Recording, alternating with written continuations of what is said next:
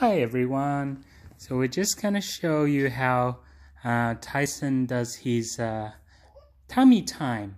He's got this big open mat for him to do it on. That uh, thanks to his great aunt number eight gave us for us. She's very nice. She gives us, us a lot. We love her. So this is how we do tummy time. And yeah, we're just low on the ground so you can't roll off and fall off anywhere. Yeah, he's uh 18 days today. But we've been studying tummy time since he was about uh maybe 10 11 days old.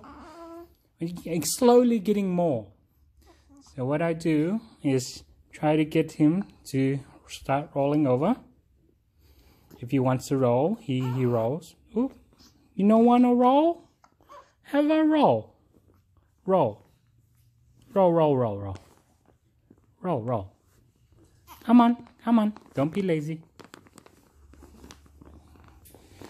It's all about adjustments. See how he lifts his head up? It's getting his muscles working and uh, everything. Like they said, you should have started tummy time when he was uh, just after he's born, but I think that's a little bit too early. So do follow your recommended governmental um, websites.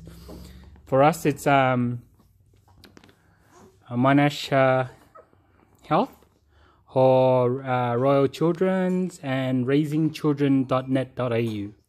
So do follow them. They're they're really good. Come on, Tyson. Head up. Head up. Put legs together. That's it. Push, push, push. Push, push, push, push, push. He's trying to crawl already, so sometimes he's lazy. Push, push, push. They say it's very good for the tummy, helps with digestion, um, all the burping problems, as well as the uh, sometimes he's get a little bit of hiccups, so it helps with that too.